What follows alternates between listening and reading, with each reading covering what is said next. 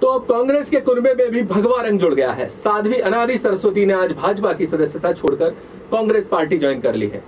आज जयपुर में मुख्यमंत्री अशोक गहलोत, प्रदेश प्रभारी सुखजिंदर रंधावा की मौजूदगी में उन्होंने कांग्रेस ज्वाइन कर ली। राजस्थान विधानसभा चुनाव में बीजेपी के लिए यह बड़ा झटका माना जा रहा है। राजस्थान की लेडी योगी कही जाने वाली साध्वी अनादि सरस्वती अजमेर ज़िले की रहने वाली हैं। माना जा रहा है कि कांग्रेस में भी अजमेर में इस बार अपना खाता खोलने की मंशा से हिंदुत्व फेस पर दाव खेलने जा रही है। संभावना यह भी जताई जा रही है कि उनको कांग्रेस अजमेर उत्तर से प्रत्याशी बना सकती है।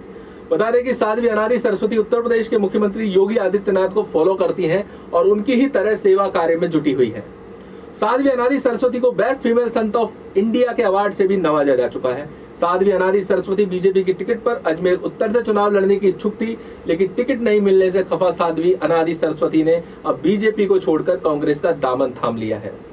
राजस्थान में 25 नवंबर को होने वाले विधानसभा चुनाव से पहले बीजेपी और कांग्रेस अपना अपना कुनबा बढ़ाने में लगी हुई है, जिसके चलते कभी बीजेपी को तो कभी कांग्रेस को झटका लग रहा है, लेकिन आज एक बड़ा हिंदुत्व फेस खोकर बीजेपी को बड़ा झटका लगा है।